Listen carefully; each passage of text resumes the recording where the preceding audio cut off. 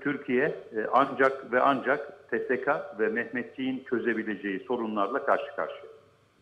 Dolayısıyla yüksek askeri şurada alınan kararların ordumuzun muharebe müessiriyetini, harp etkinliğini olumlu yönde etkilemesi büyük bir önem arz ediyor.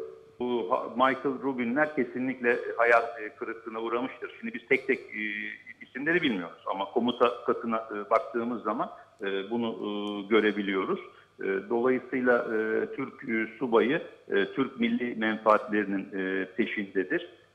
Bu çerçevede bu iş bir güven işidir. Yani subay hem komutanına aslında asker diyelim Mehmetçik komutanına komutan da devletine, hükümetine güvenir. Bu güveni sağladığınız zaman sinerjisi yüksek, yaratıcı, bomba gibi bir ordu yaratırsınız ki bizim bugünkü ihtiyacımız e, budur. Olan şey de E, bu çerçeveden e, önemlidir. E, Şimdi burada e, bu konuların tamamen dışında Türk Silahlı Kuvvetleri'ni, komuta kademesini ben hepsini tek tek tanıyorum, hepsine kefil olurum. En ufak bir tereddüt yok. Böyle bir e, yanlış bir mesaj vermek istemiyorum.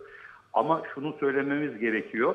E, bu e, şura e, bir askeri şura değil. Çünkü bu e, bir e, yüksek AKP şurası.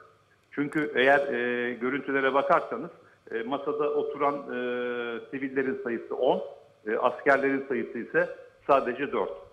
Ve e, bu şuranın aldığı kararları onaylayacak kişi de e, A- Adalet ve Kalkınma e, Partisi'nin e, genel başkanı.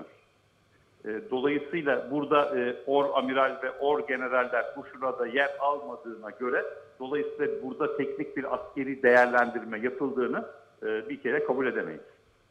E, bu şurada e, bence e, TSK'nın muharebe etkinliği yerine siyasi iradeye uyum mülazaları ön plana alındı.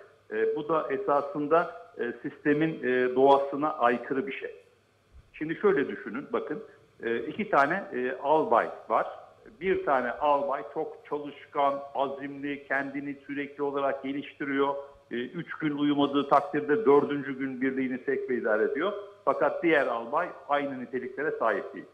Ama şimdi burada iki albay arasında bunu gözüyle gören komutan değil, bunu yaşayan, bunu taktik alanda gören, bunu stratejik e, seviyede değerlendiren, bunun karargah performansını gören askerler değil, bunların e, dışındaki siviller değerlendiriyor.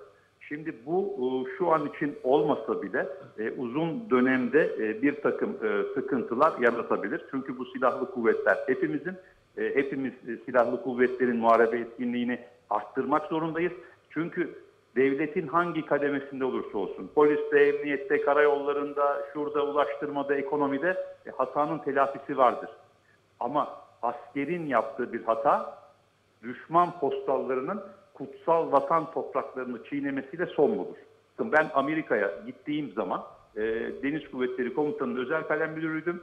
E, Amerikan Deniz Kuvvetleri Komutanı böyle çok gergindi. Eşi dedi ki e, komutan çok gergin dedi. Çünkü dedi amiral olacak albayları seçecek bir hata yapmasın, bir hak yemesin diye böyle hep gergin olur dedi bu dönemlerde. Yani kağıt üzerinde nasıl gözükürse gözüksün üstlerde bir şey demiyorum bakın. Yani kuvvet komutanları, belki işte ordu komutanları o seviyeler siyasi bir e, tercih konusu olabilir. Ama bu işi albaya kadar indirirseniz, daha aşağıya kadar indirirseniz siz dünyanın en iyi niyetli kişisi olsanız bile hiçbir şekilde böyle bir şey düşünmeseniz bile Türk Silahlı Kuvvetleri'ni siyasetin içine itmiş olursunuz. Bir subay elinden geleni yapar, bütün performansını gösterir ve komutanının gözüne girmek ister. Komutanı tarafından beğenilmek ister.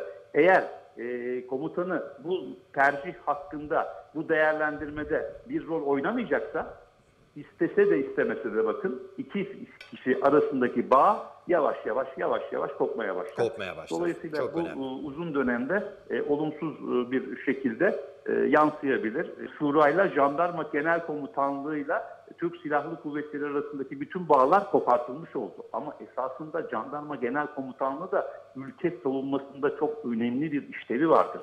Yani siz bütün bunları devlet olarak organize ederken genel savunma dışında tutamazsınız.